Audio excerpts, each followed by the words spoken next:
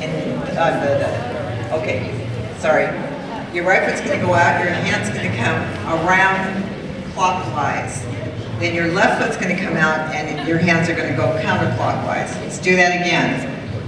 Clockwise with the right foot, counterclockwise with the left foot. Then you're gonna walk four times. One, two, three, four. Then on the way back, the women are gonna hold their sleeve, the men are gonna put their hands on their hip. Back, one, two, three, four. Swing it around to the inside and walk.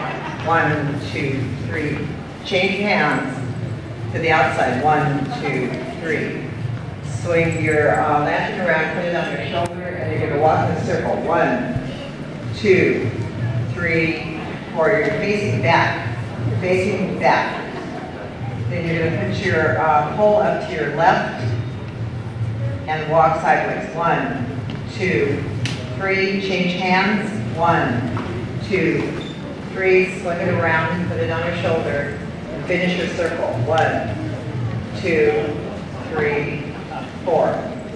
Start over again. Right foot out and back. Left foot out and back. Walk four. One, two, three. Back four. One, two, three, four. Swing around to the inside. One, two, three. Swing around to the outside. One, two, three. Down and on your shoulder. Walk. One, two, three, four. Up to the left. Down. Up. Up to the right. Down. Up. Swing it around, put it on your shoulder, walk down. One, two, three, four, and then we'll start over again. When you uh, get to the point where you're using your lantern, hold your lantern so that it's pretty high so that people can see it. It'll be, it'll look nicer up there.